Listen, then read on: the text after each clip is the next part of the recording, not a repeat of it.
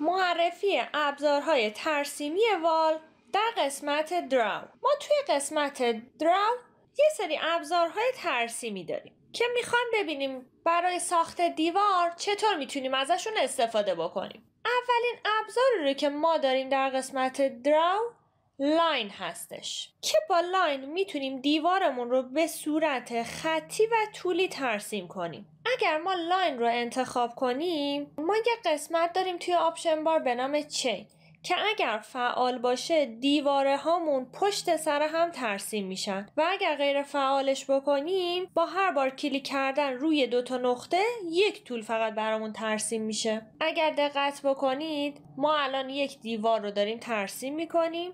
با ابزار chain که همونطوری که می‌بینید به صورت پیوسته داره برای ما ترسیم میشه. یکی از محاسن نرم افزار رویت اینه که ما مثل اتوکد نیازی نداریم که هر دیواری رو که ترسیم می‌کنیم تقاطعش رو با اون دیوار دیگه به هم وصل کنیم و خطوط اضافه رو پاک کنیم. و نرم افزار رویت این قابلیت رو داره که خودش به صورت خودکار دیوارهامون رو به هم دیگه متصل میشه. یه نکته ای که وجود داره ما وقتی داریم با line کار می‌کنیم در حین کار نمی‌تونیم زاویه رو وارد بکنیم و حتما باید شکلمون رو ترسیم کنیم و بعد زاویهمون رو تغییر بدیم. با بقیه قسمت های option bar توی درس بعدی مفصل آشنا میشیم.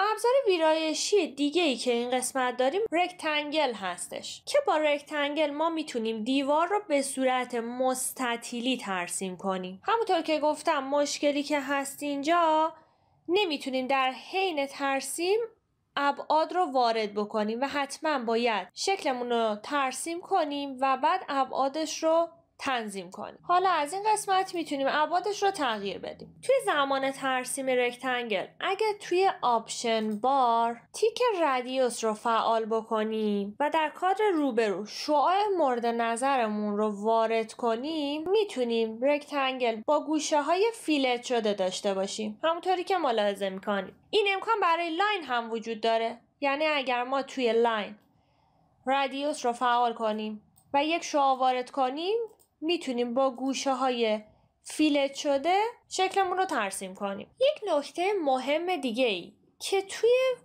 کشیدن دیوار وجود داره اینه که اگر ما rectangle رو انتخاب کنیم مثلا من می‌خوام یک rectangle در ابعاد 6 در 10 داشته باشم.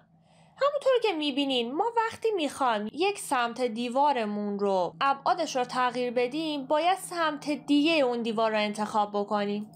خب الان اگر من بخوام این دیوارم رو تغییر سایز بدم باید این یکی رو انتخاب بکنم. الان ما یک rectangle ده در شش ترسیم کردیم. خب حالا به نظرتون این ابعاد درست هست یا نه؟ معمولا ما ابعادمون رو یا از داخل می‌گیریم یا از خارج. الان اگر ما یک اندازه بگیریم در این قسمت اگر تب رو بفشاریم از لبه بیرونی دیوارمون اندازه رو برای ما وارد می‌کنه. و این قسمت تب رو مجددا میفشاریم. حالا ببینید برای ما 6 متر و 20 وارد کرده. در صورتی که ما این قسمت می‌خواستیم 6 متر باشه. چرا این اتفاق افتاد؟ خب این یه مشکل مهمیه که توی رویت معمولا همه باهاش سر و کار دارن. چرا این مشکل پیش میاد؟ چون رویت همیشه سنتر رو می‌شناسه و بعد از اینکه ترسیم می‌کنیم حتما باید یه اندازه بگیریم تا به درستی کارمون پی ببریم. خب برای این کار باید نصفی از زخامت این دیوار و نصفی از زخامت این دیوار رو کم کنیم تا دیوارمون 6 متر درست بشه. یعنی برای وارد کردن 6 متر ما باید دیوارمون رو انتخاب کنیم و اندازش رو به جای 6 متر باید 5 و 80 وارد کنیم. یعنی 20 سانت از دو طرف دیوار رو کم می‌کنیم. حالا اگر دقت کنید بیرون تا بیرون دیوار ما 6 متر درست شد. و برای این دیوارم به همین صورت. اگر ما اندازه بگیریم با تب می‌تونیم بیرون تا بیرون دیوارمون رو انتخاب کنیم و اندازه بگیریم که مشاهده می‌کنید ده متر و 20 سانت رو برای ما وارد کرده. به خاطر همین مشکلی که الان گفتم. خب برای این کار ما چیکار می‌کنیم؟ 20 سانت از ضخامت دیوار رو باید کم کنیم. یعنی ابعادمون رو 9 متر و 80 وارد می‌کنیم تا دیوارمون بیرون تا بیرونش. 10 متر درست بشه. خب پس این مشکلی بود که همیشه ما توی کارباهاش بهش برمیخوریم و خب یکی از معضلات Revit هستش که باید بهش توجه داشته باشیم حتما که بعد نقشمون به مشکل نخوره. آیکون بعدی که ما توی Wall داریم Inscribed Polygon هستش که اگر ما انتخابش بکنیم می‌تونیم چندضلعی‌های محاطی رو باهاش ترسیم کنیم که توی این ملاک سنجش دایره بیرونیه که اگر ما توی قسمت side تعداد زل هامون رو وارد کنیم می‌تونیم همونطوری که مشاهده می‌کنید یک پنج زلی با ملاک سنجش دایره بیرونی رو بگیریم. که همونطوری که می‌بینید باز هم ملاک سنجش ما وسط دیوار رو گرفته. به بحثی که کلیک کنیم برای ما ترسیم شد. و با گزینه سیرکوم سکرایب پولیگان ما می‌تونیم یک چند زلی